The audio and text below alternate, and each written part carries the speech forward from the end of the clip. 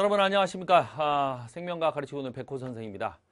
자 아, 오늘로 해가지고 수능이 한 180일 정도 남았어요. D-6개월 정도 됩니다.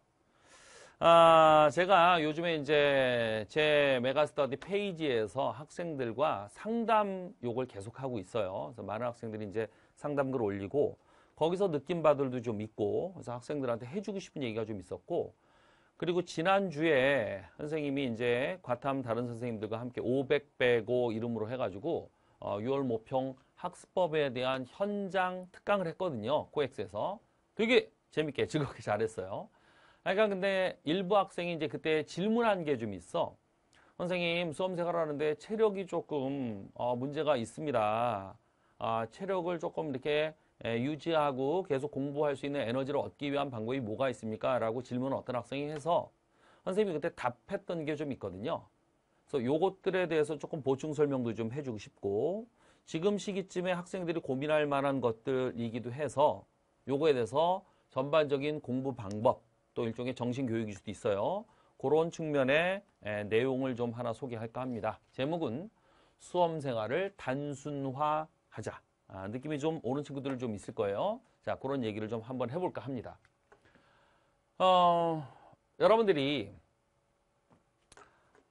이 남은 이 6개월 기간을 전부 다 대입과 수능 공부에 에너지를 쏟았으면 합니다. 쉽지 않은 일인 건 알아요. 어. 근데 꽤 많은 친구들이 지금 공부와 대입 요거에만 집중해야 되는데 다른데 정신적 에너지를 좀 쓰는 경우를 많이 봤어요. 어, 낭비죠. 모든 인간은요, 공평하게 시간은 다 똑같이 주어집니다. 시간을 더 쓰는 사람은 없어요. 24시간 하루에 똑같이 쓰고 있죠. 시간 똑같이 주어져 있고요. 모든 수험생 지금부터 수능 때까지 6개월 남은 거라고요. 자, 거기다 또 하나 사람들의 에너지는 뭐 체력이 좋은 사람도 있고 나쁜 사람도 있고 그렇긴 하겠지만 자기가 갖고 있는 이 에너지는 제한되어 있습니다. 시간도 정해져 있고요. 공평하게 에너지도 제한되어 있다고요. 근데 여러분들이 이제 11월 아, 달 수능을 보러 가야 되잖아요. 그러면 이 고갈될 수밖에 없는 이 에너지를 그리고 정해져 있는 이 시간 동안에 얼마나 효율적으로 공부에 집중하느냐 이 싸움이거든요. 이걸 효율적으로 해보자고. 우리의 공부하는 거는 전부 다 정신적인 에너지를 쓰는 거잖아요. 이 에너지에 낭비를 줄여보자는 얘기입니다. 그래서 공부에만 오로지 집중하면 여러분들의 이 학습 진도 그리고 실력이 일취월장 굉장히 효율적으로 올라갈 수 있다라고 저는 생각을 하거든요. 그러기 위해서 앞으로 남은 6개월 대입 성공을 위해서 세 가지 단순화를 제가 제안하고자 합니다. 아, 이거 실천하는 학생들도 있을 텐데 못하는 친구들이 좀 많을 거야. 자, 첫 번째. 생활의 단순합니다. 공부 이외에 다른 경험과 자극을 좀 최소화해 봅시다. 아예 하지 말자는 얘기 아니야. 그럼 뭐 기계나 하는 거지. 우리 인간이라. 자, 최소화 정도 해야 되는데 우리 인간은 너무나 지적 호기심이 많기 때문에 새로운 자극과 새로운 경험을 항상 원해요. 그런 걸 해보고 싶어 하고 그런 정보를 보고 싶어 하고 그런 것들이 있다고. 그런데 남은 6개월만이라도 그런 경험과 자극을 최소화해보자라는 얘기입니다. 생활에 있어서. 생활 패턴을 단순화시키자라는 얘기예요. 예를 들어 식사, 수면, 외모 꾸미는 거, 의상, 그리고 휴식 방법 뭐 이런 것들을 조금 좀 단순화시켜 보자고요. 여러분들이 뭐 음식 좋아하는 친구들이 있을 텐데 음식을 아예 뭐 어? 스님이 먹는 것처럼 아주 단순해서 그런 얘기는 아니지만 음식 난 뭘 먹을까 맨날 고민하고 이러지 말자고. 식사 투정하거나 그러지 말고. 조금 그거에 대해서 욕심 내려놓고 소화 잘 되고 여러분들이 좋아하는 거 몇 가지만 줄여가지고 그걸 먹는 거. 그 정도. 그리고 수면도 적절한 이 수면 시간 딱 확보해 놓고 일정한 수면 패턴을 좀 다졌으면 좋겠어요.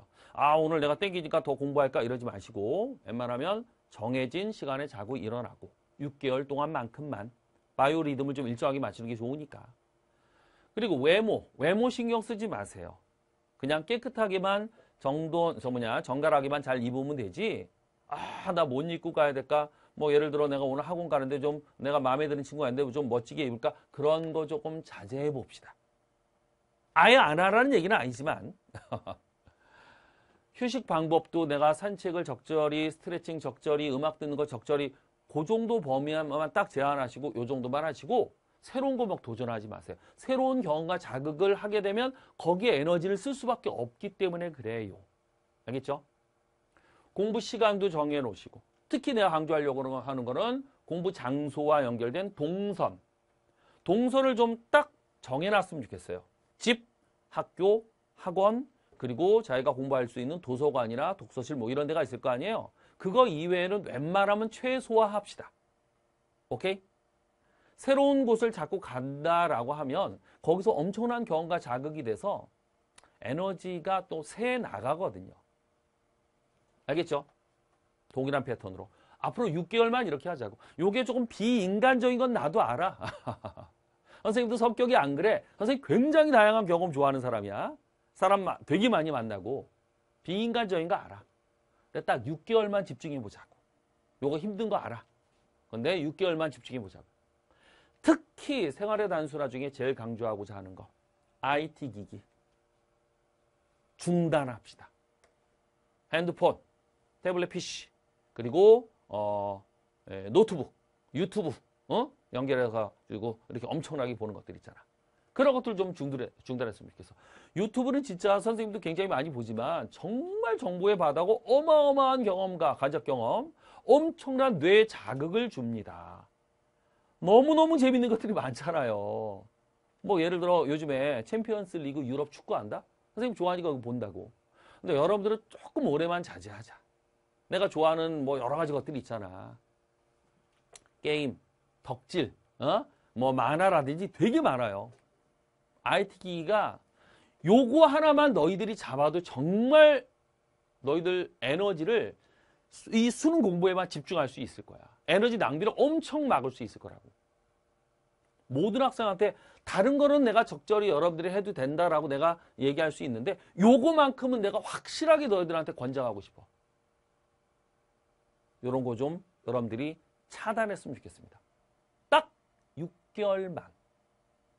6개월만 요거 딱 참고 하잖아요. 어, 실력이 많이 올라갈 가능성이 대단히 높아요. 공부 진도가 엄청 달라질 거라고. 지금 하는 친구들도 있을 텐데 못하고 있는 친구들은 요것만이라도.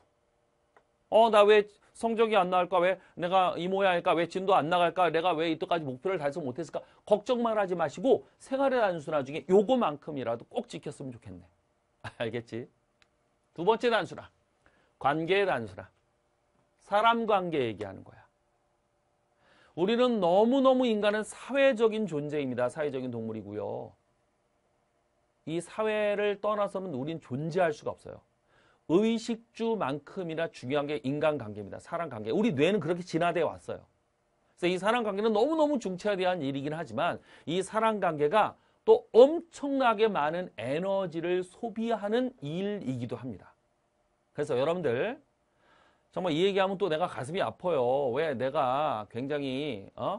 어, 다양한 경험도 좋아한다 그랬잖아. 근데 굉장히 내가 사람들 만나는 거 좋아하는 사람이거든. 그래서 이 얘기는 어떻게 보면 반사회적이기도 해. 비인간적이고 반사회적이기도 한데 딱 6개월만 참아보자고. 사람관계. 모든 대인관계를 최소화합시다. 아예 안 하자는 얘기는 아니야. 그건 뭐 어디 뭐 어? 무인도에 가서 혼자 사는 거잖아. 뭐 감옥에 가서 혼자 있는 거 그런 거잖아. 그런 거 아니야 이건. 최소화합시다. 6개월만큼은 기본적으로 자기가 공부에 도움이 되고 기본적으로 인간으로서 살아야 되는 그 인간관계 정도만 유지하고 새로운 사람들 만남을 좀 자제해 봅시다. 사람 만나면 거기서 쓰는 그 에너지가 굉장히 많아요. 또 기본적으로 여러분들이 만나는 좋아하는 친구들이 있죠. 그리고 이성들도 혹시 연애하는 사람들도 있을 테고 그리고 형제, 부모님도 있고 가족들도 있을 텐데 여기를 기본적으로 잘 유지를 좀 합시다. 여기서 새롭게 만들어지는 갈등이나 긴장 이런 거를 만들지 말자고. 혹시 그런 긴장이나 갈등 관계가 있다 그러면 그거를 지금 해소를 좀 하세요. 내가 미안한 점 있으면 사과하시고요. 여기에 감정 실어가지고 계속 고민하지 마시라고. 특히 여러분들이 학교 다니면서 여기 요즘에 여러분들이 이제 지금 나이가 사춘기라 친구들 간의 관계에서 참 많은 의식을 좀 하고 그럴 거야. 내가 이 집단에서 혹시 소외되고 있는 건 아닐까 이런 걱정 많이 하시는데 친구들 그리고 여러분들 학원이나 학교에서 그 집단 내에 다른 사람들 관계 너무 많이 의식하지 마세요. 세상은요 수험생활뿐만 아니라 다른 뭐 집단으로 가서 사회 나와서도 마찬가지인데 그렇게 다른 사람한테 많은 관심 갖고 있지 않아요. 과하게 의식하지 마세요 다른 사람들 알겠지? 그냥 여러분들이 묵묵히 앞으로 남은 6개월 동안만큼은 묵묵히 그냥 공부만 하세요. 있는 기본적인 대인관계 그냥 유지만 하시고요. 변화를 주지 말자 이런 얘기입니다. 왜? 공부해야 되니까 일단. 그래. 특히 그래 여기는 뭐 어느 정도 다 인정할 수 있다 쳐도 SNS 앞에 IT 기기와 동일해요. IT 기기 그 매체를 통해서 하는 거잖아. 소셜 네트워크 시스템. 간접 사회 경험이죠. 인터넷을 통한. 아, 이거는 중단하세요. 딱 6개월만. 카톡 중단하시고요. 뭐 특정 상표 얘기해서 미안하긴 합니다만 인스타 하신다 그러면 중단하시고요. 수험생 커뮤니티 들락날락 거신다 그러면 중단하시고요. 이거 말고 다른 거 여러 가지 있을 거예요. 그런 거 중단합시다. 그러기 위해서는 아까 말한 IT 기기를 중단하는 게 좋을 것 같아요. 핸드폰 피처폰으로 바꾸시고요. 투지폰. 그리고 웬만하면 인터넷 들어가는 게 내가 인강이나 이런 거 공부하는 거 이외에 다른 사이트 안 들어가게 딱 여러분들 어떤 장치를 좀 만들어 놨으면 좋겠어요. 크, 이거 어마어마하거든 이거. 한번 들어가서 보기 시작하면 그냥 끝도 없이 거기 빠져 들어가는 거 아니야. 그지? 여기서 또 친구끼리 또 어, 이슈가 되는 거 얘기하고 하하호호하고 또 쌈박질 나고 그러면 막 알죠? 왜 이런 얘기 하는지. 관계의 단순화. 자, 생활의 단순화와 관계의 단순화 얘기한 것이 궁극적으로는 이겁니다. 감정의 단순화. 아, 이것도 너무 비인간적이라 내가 미안하긴 합니다만 딱 6개월만 참자 이거야. 공부 이외에 희노애락 대부분의 감정을 가질 수는 있지만 감정 변화를 최소화합시다. 여기서 많은 정신적 에너지가 소모됩니다. 첫 번째, 대인관계, 앞에 말했던 사람관계, 그리고 경험이나 자극 이런 거를 통한 감정 변화 그런 것들을 좀 줄였으면 좋겠어요. 그래서 앞에 거랑 다 연결되는 내용입니다. 새로운 경험이나 새로운 자극이나 어떤 뭐 사회적인 가치관 변화나 뭐 큰 이슈가 있었어. 그런 거에 대해서 내가 신경 또 가치관, 여러분들은 청소년 시기라 가치관이 끊임없이 변하거든. 또 사람 관계 아까 말한 것처럼 거기서 어떤 감정 변화가 생기고, 어, 내가 저 친구랑 좀 갈등이 되는데 거기서 막 신경 많이 쓰거든. 연애하다가 조금 트러블이 생겨버리면 거기서 엄청 뭐 한 달 정도 헤맬 수도 있는 거예요. 그런 거 좀 줄이자 그런 얘기입니다. 알겠죠? 그리고 학생들이라 이런 것도 좀 많아요. 학습 진도 내가 5월 말까지 6월 모평 전까지 상크스 완강하기로 했는데 안 돼. 너무 걱정돼. 미쳐버리겠어. 그리고 내가 앞으로 6월 모평이나 9월 모평 또는 수능 시험 보려고 하는데 내가 자꾸 이런 실수하는 습관들이 생겨. 또 수능에서 그럴까 봐 내가 너무너무 걱정돼. 이런 친구들이 있어. 시험 성적 나 진짜 열심히 했는데 왜 안 나올까? 이런 걱정 있고 궁극적으로 미래에 나 수능 망할 것 같아. 대입 내가 원하는데 못 갈 것 같아. 이런 거에 대해서 걱정하는데 요거 정말 많이 하죠.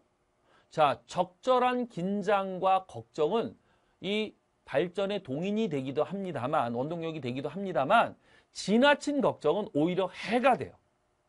쓸데없는 걱정을 너무 많이 하는 경우가 많아. 일어나지도 않은 미래에 대해서 걱정하고 있다고. 막 상상하는 거지. 내가 수능 1교시 때 망해서 또는 과탐에서 내가 뭐 어떻게 망해서 그런 거 하지 마시라. 그냥 감정 변화를 최소화하려고 노력을 한번 해보세요. 오로지 나는 저 수능 학습을 위해서 묵묵하게 감정 변화도 줄여가면서 나는 걸어간다. 알겠죠? 이거 힘든 일인 거 알아요. 그런데 정말 이걸 해 두잖아요. 그럼 놀라운 여러분들의 집중력과 함께 실력 향상 그리고 좋은 성적으로 그 결과를 받아볼 수 있을 거라 저는 확신합니다. 세 가지 단수라 좀 잘 기억했으면 좋겠고요. 특히 IT 기기, 그거는 꼭 여러분들이 중단했으면 좋겠다. 어, 누구지 다 아시죠? 성공한 분들이에요. 어, 스티브 잡스고 이분은 페이스북 어, 창업한 그 마크 저커버그라고 하는 분입니다. 인스타그램도 뭐 같이 이제 하고 계시죠. 어, 이분들이 나름 성공을 했지만 저는 이분들을 여러분들이 존경하라는 얘기는 아닙니다. 이분들의 삶의 방식과 이분들의 가치관을 따라가라는 얘기는 아니에요. 사업적으로 성공했는데 이런 사람들도 있다 보여주고 싶은 건데 뭐냐 그러면 두 분 딱 알겠지만 이분들의 의상이 독특해요. 항상 스티브 잡스는 이 옷만 입으셨고요. 마크 저커버그도 이 옷을 항상 입어요. 엄청 많아요. 이 회색 티, 라운드 티. 그리고 이분들이 하는 얘기가 자기는 자기 사업 성공을 위해서 아까 말한 그런 단순화, 생활의 단순화, 감정의 단순화, 뭐 이런 단순화를 끊임없이 자기는 했다는 얘기예요. 평생을. 이분들은 평생을 한 거예요. 옷이 맨날 이 옷이야. 그리고 음식이나 이런 거별 관심 없어. 오로지 일만 하신 분들이야. 그래서 어마어마한 기업을 일구시고 정말 엄청나게 시대를 앞서가는 삶을 사셨던 분들이긴 합니다.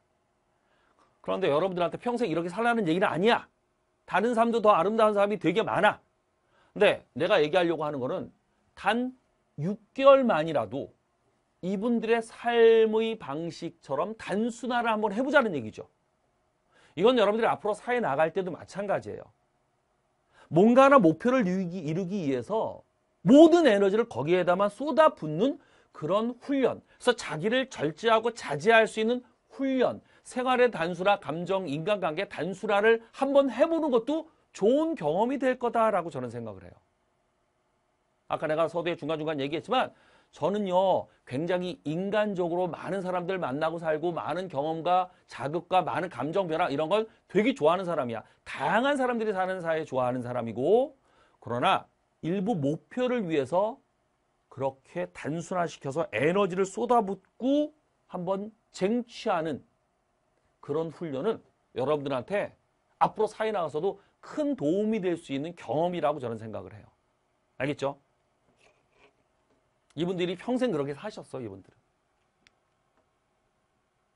힘든 길입니다.